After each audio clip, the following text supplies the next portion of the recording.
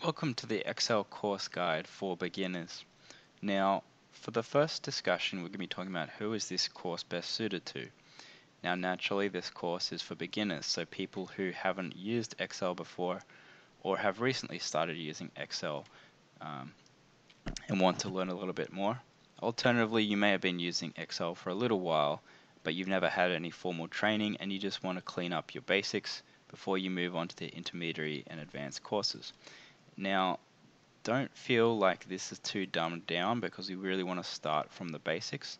However, as we move to the chapter, it does get a little bit more complicated um, and we get through some of the more sophisticated features, but there won't be anything too tricky or complex that anyone who's just starting out with Excel won't understand. If you feel like this is too basic, you can move on to our intermediary and advanced courses. The first thing we're going to be talking about is the very basics. So just around creating a new workbook. And again, if this feels too dumbed down for you, please just move on to the next chapter. But we really want to start from the foundation so we don't miss anything. So the first thing we want to talk about is creating a new workbook and just understanding what Excel does. First thing we want to do is go to our desktop and open Microsoft Excel. You can also find this in your start menu over here. So just double click and open up Microsoft Excel. This is the first view that you're most likely going to see. It's a blank uh, workbook. Alternatively, you might have a different window. You might be seeing this. All I've done is just go into the File menu, and this just shows you uh, either to open a new work blank workbook, open an existing template, or open a recently open file. You can also open an existing file that you can locate through the open tool. But what we're going to do for this is just open a blank workbook. As you can see, we're going back to the original view and this has many different cells going to the right and many different cells going down. So these are called rows and these are called columns. And there are numerous different things we can do in Excel. It's very useful for doing accounting, for calculations, for modeling. There's all kinds of things you can do and you really understand the capability once we go through some of these functions. In the home ribbon up here, this is how we nav navigate. You can change in between each of these different menus and it unlocks different features as well. You can also access these through the keyboard if you're more of an advanced user. But for now we recommend just starting off with your mouse. So just in this section here, we've got Format Painter, which allows you to format a different cell. I'm not going to go into any of these into too much detail because we'll touch on these later on the course. We've also got different font sizes so you can format text. So we can make this bold, italicized, underline, change the size of the font.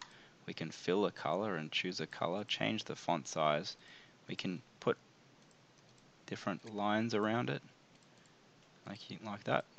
We'll put all borders around it. We can also change the alignment in here depending it moves the text around in there. We can merge a few cells. We just select that with the mouse and press merge and center. We can also wrap text. So if we have a long sentence over here like this, what we can do is we, if we don't want it to extend out across two lines, just wrap it like that so you can all be read into one box. Over here we've got different types of general number, currency, etc. So you tell Excel what they are. You can change it to a currency quickly, a percentage or, or a comma. These are all options in here. These are just quick buttons. And for a number, you can increase the decimal places. Right now it's only showing uh, three decimal places. We can reduce that by pressing this right button here. We can increase it by pressing that button there. We've got conditional formatting over here, which we'll talk about later. That's basically putting colors on certain rules to make it easier to read. And we've got cell styles over here.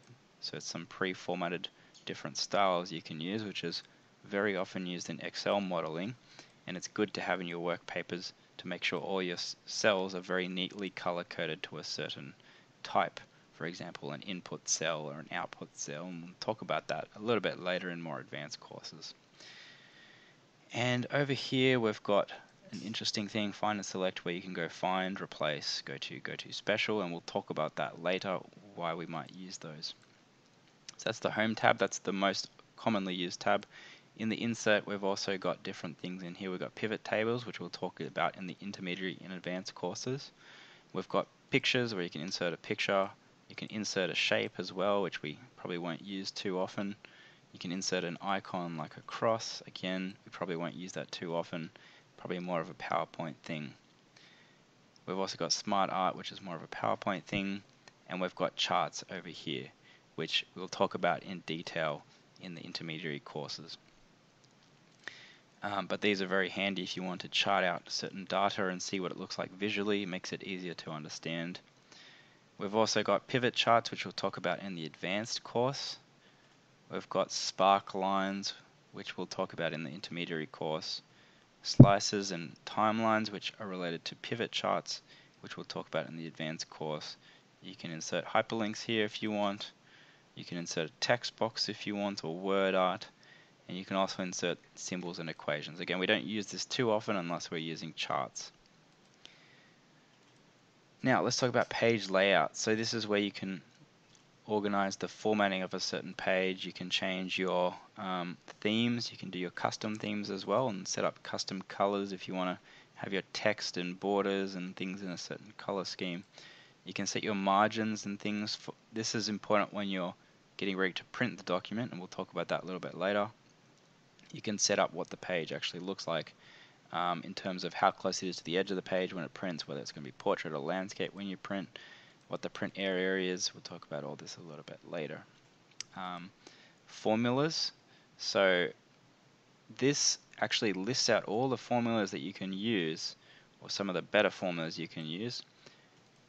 I generally don't use this because after you've gone through this course you'll learn what all the key formulas you need to know are. Um, so I don't actually use this at all, but they're all listed there if you do need it. We'll talk about the name manager, which is a more advanced thing. That's basically you can tell it where there's a range of cells and say we're going to call this X, Y, Z. And later, when we want to use that in a formula or refer to it, we can just call it X, Y, Z instead of going sum of these cells over here. We can actually manage those names over there. We'll talk about that a little bit later we can actually check our formulas over here. So we've got two things called trace precedent and trace dependent. So trace precedent is basically if you've got a formula linking into this cell, what you'll press this button and you'll see everything that's relying on that. So if I've got a big Excel file and I want to delete a number in here, what I'll do is I'll check trace precedents to make sure nothing else in the workbook is relying on that first.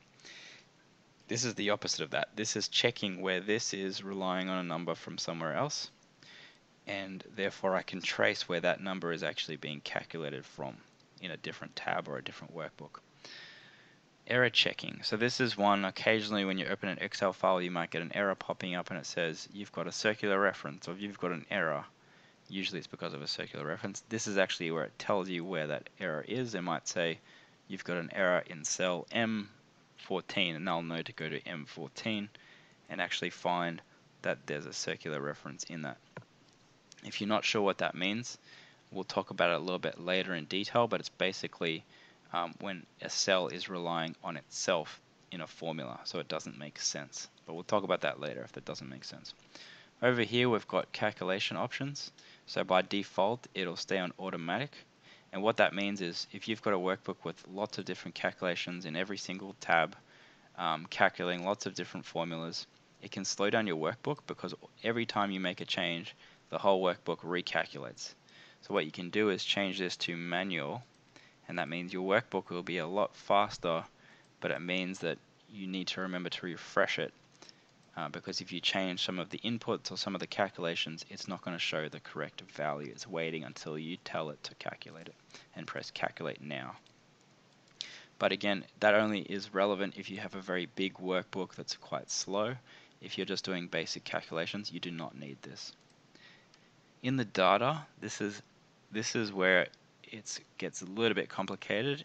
If you're an advanced Excel user, you can link data from multiple different sources for example, from a database or from an accounting software and things like that, we probably won't be talking about this at all. It's more for sophisticated users and people who use databases.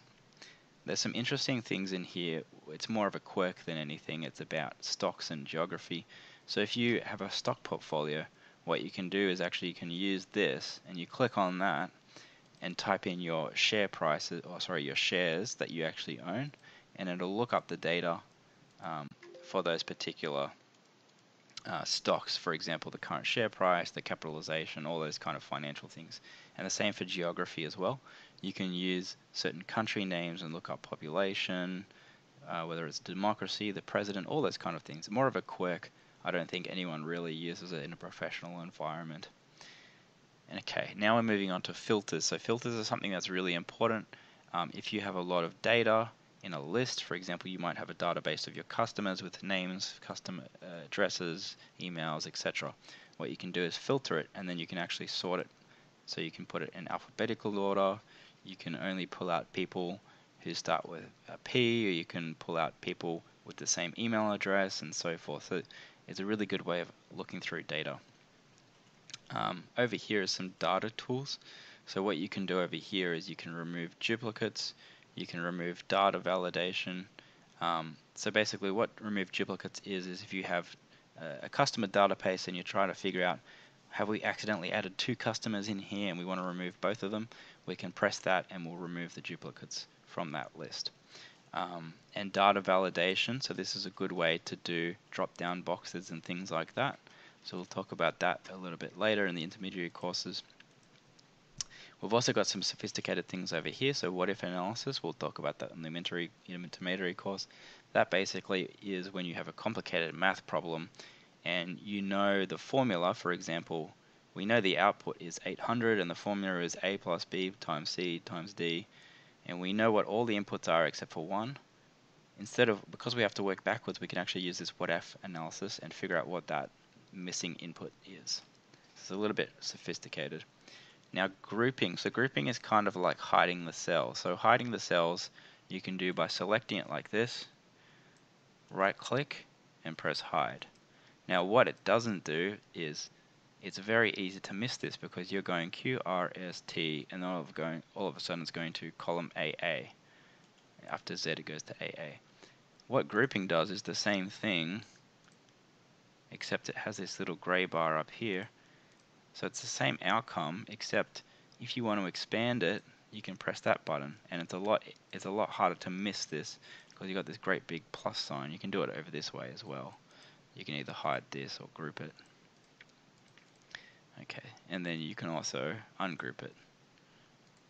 Well, so you can reverse that. Let me just select everything and ungroup that. Okay, and then ungroup this as well. Okay.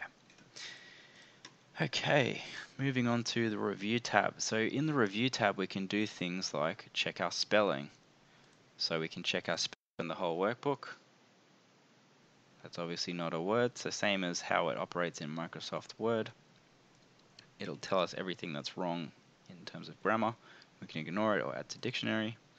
Um, we can also add comments in here. So if, for example, if we've got a formula over here, I'll say uh, we need to fix this and just press enter and the next person who comes through can see all the comments like that.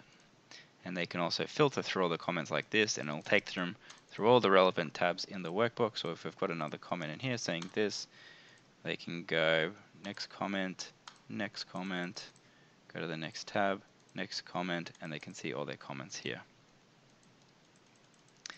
Okay, um, we've also got protection, so we'll talk about that a little bit later in the intermediary course. Uh, and this is basically when you've got some confidential data, you can add this password protect, and it can prevent people from either changing it, seeing certain things, or you can put password. You can there's a lot of controls in here to, to tell people what they can and can't do in password protected. Now just going through the view tab, we've got the normal view, which is what you can see here. We've also got the page break view, and this is basically what you can see when you're printing. So you can change this and move around what you can print, and this line here is just basically the edge of the page of what you can actually print. So we don't want to go over that. We'll talk about that a little bit later. Now there's some quite advanced stuff in here. We've got macros. That's basically automating things in Excel. And we talk about that in the advanced course. Now what you've got up here is you might actually have some extra add-ins. So what you can do with Excel is you can download these extra custom toolbars and you might not actually have this one, this one, this one, this one, this one, or this one. And they can actually add extra functionality and capability to your Excel. You don't need them, they're just extra add-ons that might help you and be more efficient. For example, what I've got here is this toolbar that can help me color code things quickly. It can also help me add into an if error function, which we'll talk about later. It can also unhide all the hidden sheets that are in here or format a certain cell as a format or add a title sheet like this super quickly. So there's lots of different aftermarket products uh, which you can use. These are just what I've chosen to use. So that's pretty much the how we move around Excel. In terms of what's actually on the screen, we've got these little individual squares which we call cells, and this is where we can insert data, we can insert numbers, and we can insert formulas. So let's go back to the initial guide and make sure we're staying on track with the module. So we've talked about Excel workbooks. I've given you a thorough walkthrough of how it works. And I've given you an understanding of how you open a new blank workbook and get to work with it. So the first few things we're going to be talking about are these three things, which is text, numbers, and dates. In Excel, you can insert data like this, like this, as a date, There are other ways like currency and time, but these are really the three main ways. So it's text, numbers, and dates. Now what you'll notice up here in this little box is that you can actually tell Excel what the data is. And the reason this is important is because Excel, if it doesn't realize that something is a date or a number or a text, when you insert it into a formula, it's not going to work. For example, how does Excel know when you add plus 1 to the 31st, oh, that should probably be the first, how does Excel know that when you add, and notice how this is just changed to a date because Excel has now recognized that yes, that's probably a date. So let's just go back to that because that's not a real date. So Excel doesn't know that it's a date. So what happens if you just add plus 1 to this? It doesn't work, right?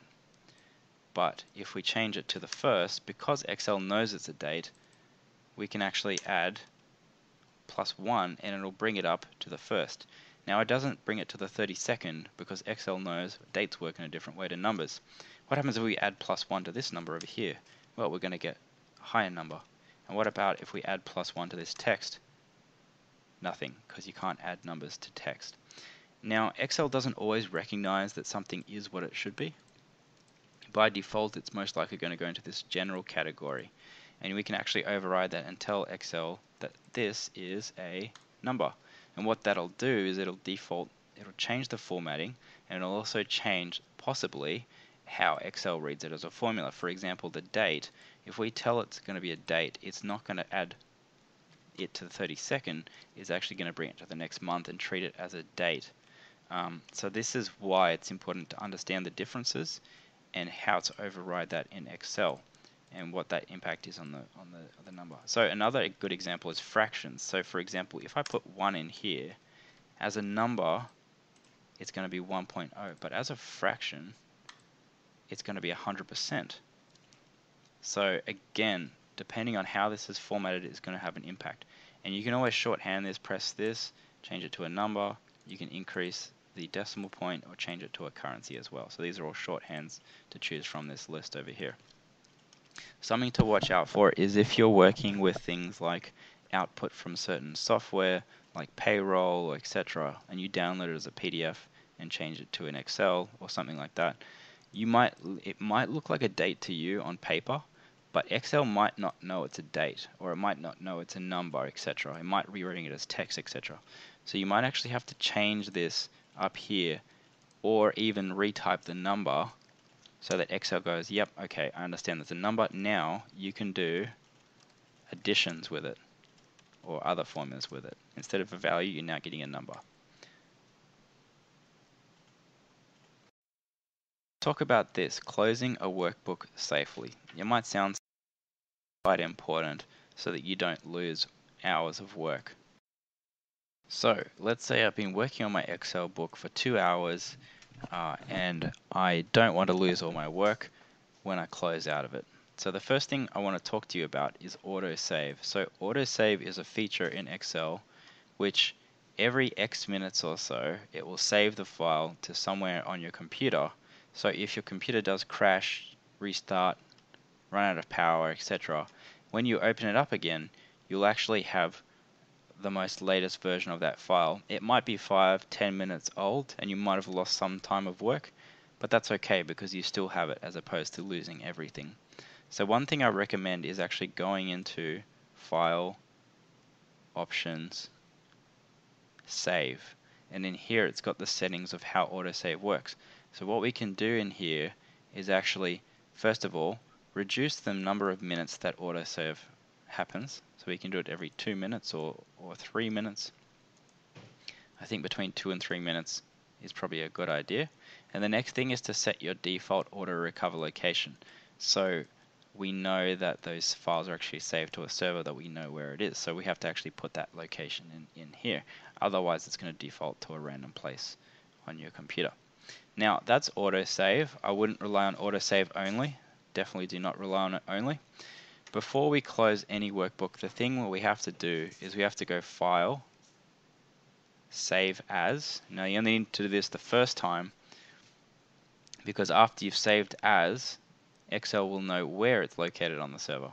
Because right now I've just got this new book called Book 4. It hasn't been saved anywhere yet. Let's let's see what happens when I try and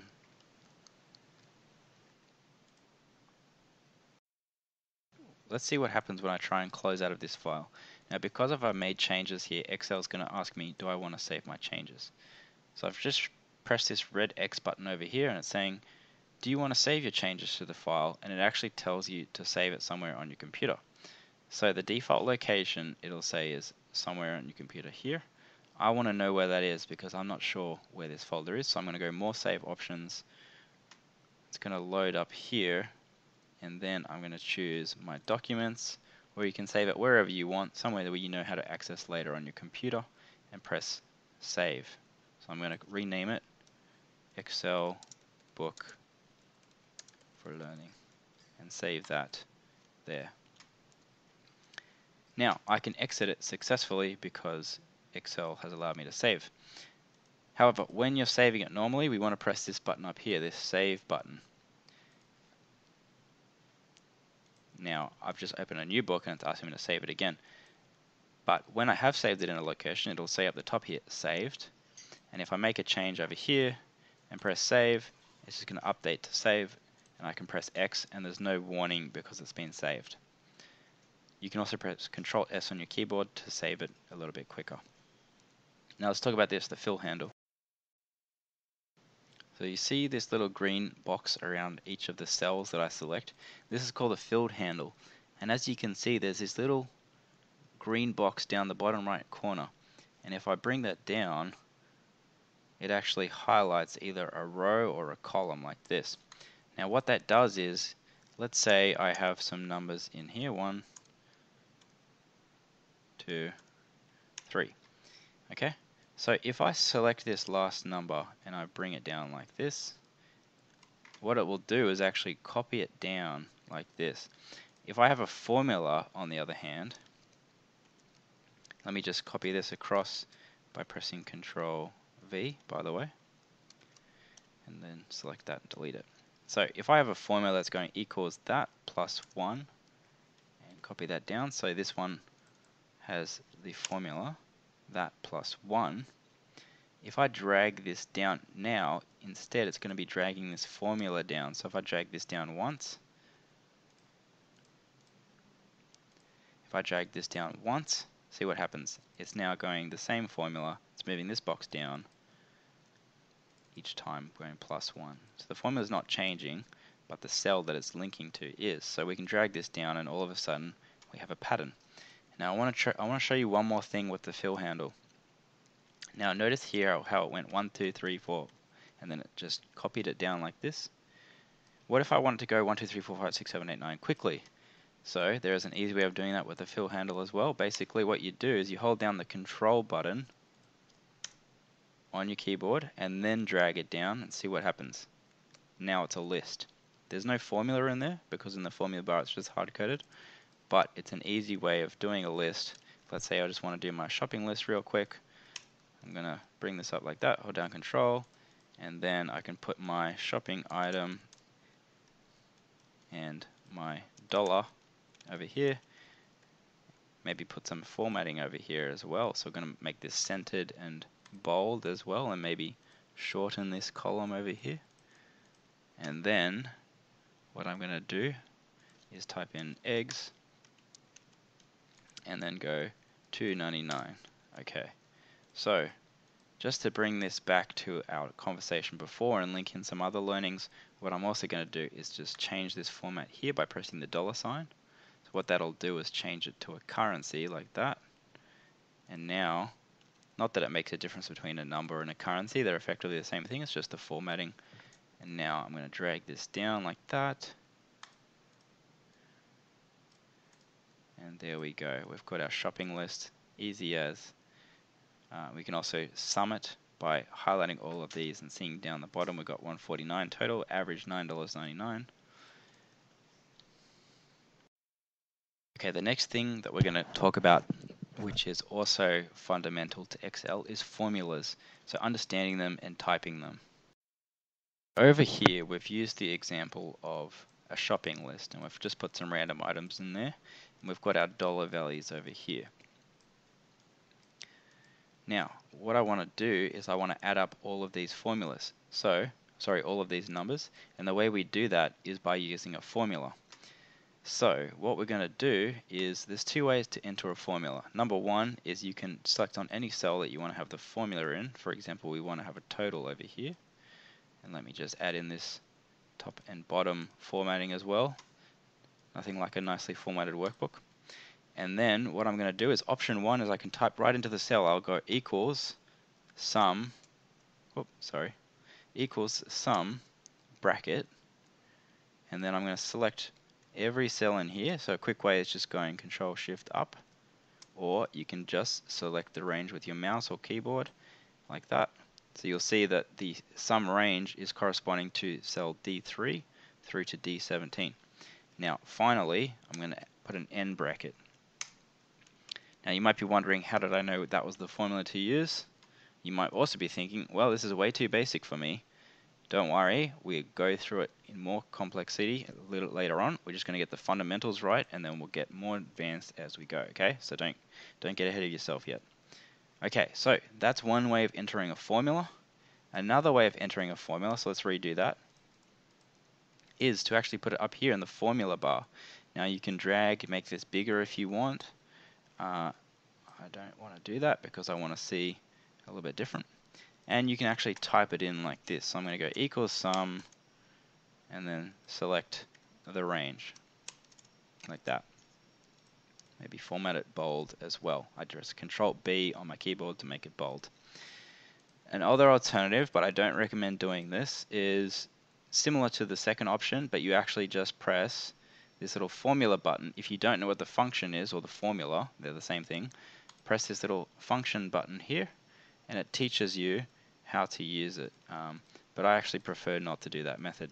Now, something to note if you're not really sure how the formula works, for example, equals, you type equals, you type your function, which is sum, and then from this list, it's got all the different types of formulas which start with sum. Now, to start the actual formula, once you're happy with it, we put in these little brackets here, and basically that says, okay, we've put in the bracket, now the formula begins. And as soon as you do that, this little box pops up and it tells you how does the formula work? Well, the sum is adding things up, and to get it in the right forma, sorry, form, format, we need to go number one, comma, number two, comma, dot, dot, dot. So that dot, dot means it's in a series and it goes on in continuation.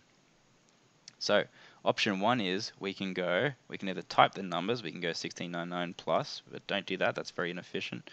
Actually select the cell, and then it says comma number two comma number three comma number four etc you can do that all the way up there so that's how the formula is working alternatively and this is how we did it and this is how I recommend you do it is you do what's called a range so you can either do it by just dragging it up like that and then ending the formula. And that's exactly the same as going sum this, sum that, plus that, plus that, plus blah, blah, blah, but it's so much faster. And you'd be surprised how many people actually do that. They manually add it up. So this is the exact same thing. Instead, it's going number one, but every number in between as well. So let's just press enter and we get the total, which is corresponding to that down there. Now, just remember, for anyone just starting out in Excel, you must have an Excel, you must have an equal sign there. If you just type sum, blah, it's not going to work, okay? You need to have the equal sign because that's how you tell Excel that there is a formula. So another little trick, which will become more and more important as you do advanced and more complex Excel stuff, is you can add spaces in. So let's say we're going equals sum these uh, this and this and this and this, right? Now let's say you've got this really complicated formula and what you can actually do is space it out like this. Makes it a little bit easier to read. And you can press S, you get the same uh, answer except it's a little bit easier to read, it's a little bit spaced out. You can add as many spaces as you want. Um, Excel still understands it. Okay, so we're almost at the end of the first unit. So we're just going to be talking about saving new workbook, which we talked about. We're going to talk about spelling check, um, which we mentioned, but I'll show you, and then finally printing. For the spelling check, you might have noticed that there's two spelling mistakes in this shopping list, and before I send it off to a client, I want to make sure that I pick them up. So what I'm going to do is I'm going to go to tab and in here we've got the first little button here is the spelling. So I'm going to press that and it's going to go okay eggs is incorrect. So I'm going to change that. It's saying not in dictionary this is what it could be or I could say it's eggs or egress but I'm going to change it to eggs. Change that do you want to continue checking from the beginning and now it's picked up this one over here see how it's highlighted the cell I can also change all if it's, if it's going to be the same uh, change every time it says EGS to eggs. I'm going to press change. I'll do that throughout the workbook. Okay, then the final thing we're going to be talking about is printing. So before we press File, Print, which will send it to your printer, along with changing the portrait orientation, uh, the page size, um, and how narrow your margins are, which makes it a little bit spaced out on the page what I actually want to show you is this. So view, page break view. So we talked about this a little bit before. So what this does is this shows you based on your selection of page size and orientation what it's going to look like on the page. So let me just bring this up show you a little bit more. Um, so let's say I want to print uh, all of these, I'm just going to make sure it looks like that. And then, because I want the little space down the bottom, so what I'm going to do is I'm going to go File Print, and now it'll show you a preview of what that's going to look like on here. So another option is here, Print Active Sheets. So you'll notice that in the workbook I've got a lot of tabs down the bottom. So if I go File Print, this is only, only going to print the sheet that I'm currently on, but I can also change this to Print Entire Workbook, and all of a sudden you'll see this number down here change to a very large number and hopefully my computer doesn't crash as a result of it. Um, and you can also, uh, similar to other Microsoft Word app applications, you can also change the number of pages you want to print. You might only want to print from page 1 to 3 or pages from 3 to 5. You can change your number of copies up the top. Um, you can change whether your printing is going to be one-sided, etc. Um, and that's pretty much um, all we need to talk about that's the end of Chapter 1, Creating a New Workbook.